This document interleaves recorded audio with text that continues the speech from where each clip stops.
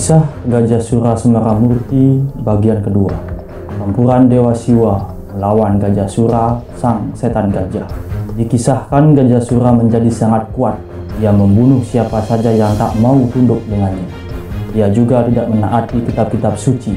Ia mulai meneror para Brahmana dan orang suci bersama dengan manusia di bumi dan para dewa. Suatu ketika Gajah Sura pergi ke kota Kashi dan mulai meneror para warga menyembah Dewa Siwa dan menghancurkan kuil Dewa Siwa. Dewa Indra dan para dewa memohon kepada Dewa Siwa untuk menyelamatkan para penyembahnya. Lalu Siwa segera pergi ke Kashi.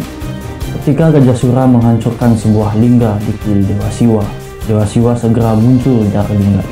Melihat Dewa Siwa menunjuk ke arahnya dengan trisula, dia meraung. Dewa Siwa pun berubah menjadi wujud yang sangat besar ukuran dengan Gajah Sura dengan delapan tangannya. Pertempuran di antara mereka sangat ganas. Mereka meluncurkan berbagai macam senjata satu sama lain. Pertarungan dahsyat itu terjadi berbulan-bulan lamanya. Akhirnya, Gajah Sura menembus pertahanan Dewa Siwa. Gajah Sura baru saja hendak menghujani Dewa Siwa dengan pedang. Ketika itu, Siwa menyadari bahwa Gajah Sura harus disadarkan dengan Trisula. Trisula Dewa Siwa menyentuh dada Gajah Sura. Pada saat itu, Gajah Sura menyadari kemuliaan Dewa Siwa. Ia berkata, Ya Dewa, hamba menyembahmu. Anda adalah penguasa tiga loka. Sayalah, oh Dewa, hamba tidak berbohong. Anda adalah satu-satunya orang yang pantas hamba sembah. Mendengar hal itu, Dewa Siwa pun tertawa. Ia kemudian berkata, Oh, Gajah Sura, Aku sangat senang karena kau menyadari kejahatanmu. Sekarang, hidupkanlah semua orang yang telah kau bunuh. Dan silakan, mintalah anugerah. Iblis itu berharap dia dapat memancarkan api secara terus-menerus dari tubuhnya. Dewa Siwa pun mengabulkan permintaannya. Dewa Siwa dikenal sebagai bola sankara karena selalu mengabulkan permohonan setiap makhluk yang memujanya dengan tulus. Gajah Sura melanjutkan semedinya dan Siwa pun muncul di depannya dari waktu ke waktu. Sekali lagi bertanya kepadanya, apa yang diinginkannya? Iblis itu menjawab, hamba ingin agar anda berdiam dalam perut hamba. Anehnya, Dewa Siwa bahkan mengabulkan permintaan ini. Dan Dewa Siwa pun tinggal di dalam perut Gajah Sura.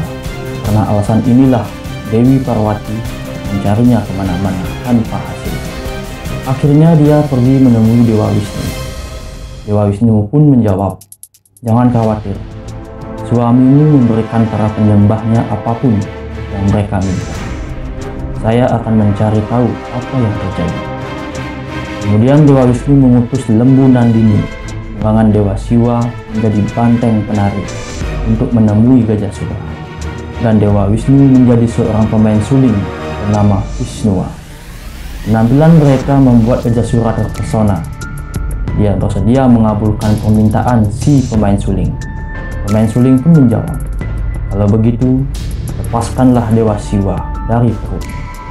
Gajah Sura mengetahui bahwa ini tidak lain permainan dari Dewa Wisnu sendiri dan membebaskan Dewa Siwa. Setelah membebaskan Dewa Siwa, ia meminta satu permohonan terakhir. Ia pun berkata kepada Dewa Siwa, saya telah berbakti oleh Anda dengan banyak hadiah. Permintaan terakhir saya adalah agar semua orang ingat saya. Oh Dewa Siwa, jika Anda senang, maka tolonglah kenakan kulit gajah saya yang telah disucikan oleh Trisulamu. Kulit ini tidak dapat terbakar ataupun tembus oleh senjata apa pun. Jadi saya ingin memberikannya kepada Anda. Dan aku ingin permintaan lain Tuan. Saya ingin Anda juga disebut Priti Fasas, orang yang memakai kulit gajah. Jika itu permohonanmu, maka itulah yang akan terjadi. Tempat di mana kau tewas akan dibangun sebuah tempat suci. Semua orang yang melihat tubuhmu berjasa maka akan memberikan keselamatan kepada siapa pun, kata Siwa. Dewa Siwa kemudian memakai kulit gajah Sura. Beliau menari dalam wujud tinggi besar dan memiliki delapan lengan, memakai kulit gajah. Sosok Dewa Siwa ini kemudian dikenal sebagai Siwa Gajah Sura Semara Murti. Saat dia menyaksikan Siwa mengenakan kulitnya, Gajah Sura terharu dan tak berselang lama ia pun meninggal. Di tempat di mana Gajah Sura tewas dibangun sebuah kuil yang bernama Kuil Pirateswara yang berlokasi di Fulupo, Tamil Nadu, India Selatan.